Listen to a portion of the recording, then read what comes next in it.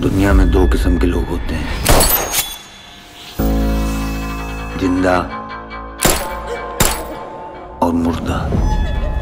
और फिर होते हैं तीसरे, घायल। हमसे सब छीन लिए और हमें ज़िंदा छोड़ दिए।